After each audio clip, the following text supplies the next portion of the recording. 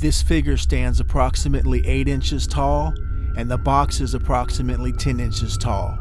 Thank you for watching. Look what your brother did to that dog!